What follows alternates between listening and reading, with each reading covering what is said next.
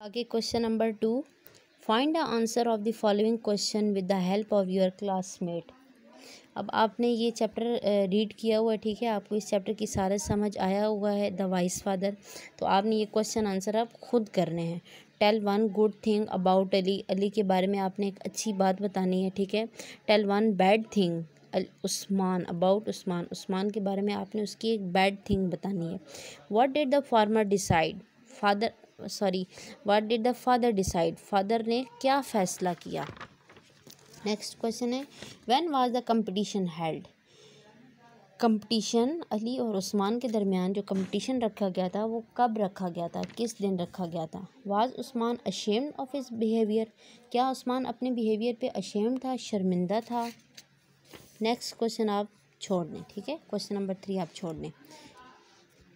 Page number seventeen use the given pronoun in simple sentences then share them with your friend ये आपने इनको खुद use करना है, ठीक है? गिवन प्रोनाउन को आपने यूज़ करके सिंपल सेंटेंस लिखना है।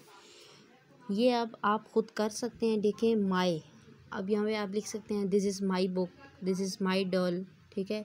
He is my he is my sis he is my brother next देखें our we respect our parents your this is your book his he play with his friend ठीक है, वो अपने दोस्त के साथ खेलता है, her. She play with her doll ठीक है, ये आपने अपने पास से, ठीक है, खुद आपने ये वर्ड यूज़ करके आपने इन सेंटेंस को कंप्लीट करना है। नेक्स्ट पे देखें।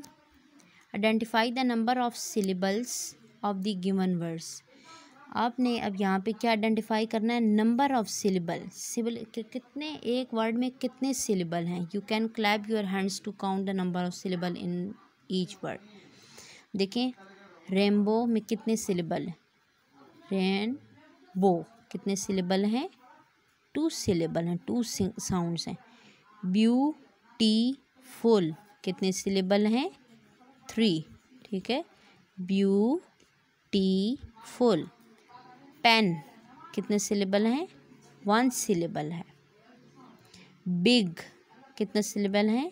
वन सिलेबल सिलेबल है तो आप यहाँ पे क्या करेंगे? इसको हटा दें. वन सिलेबल रजिस्टर रजिस्टर कितने सिलेबल्स हो गए? थ्री सिलेबल्स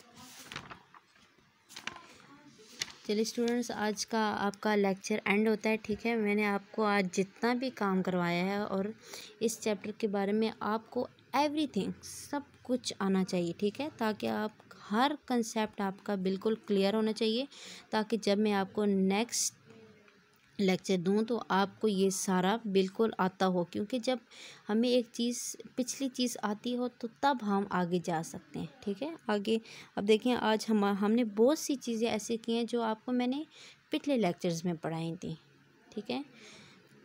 चलें, अल्लाह हाफिज़।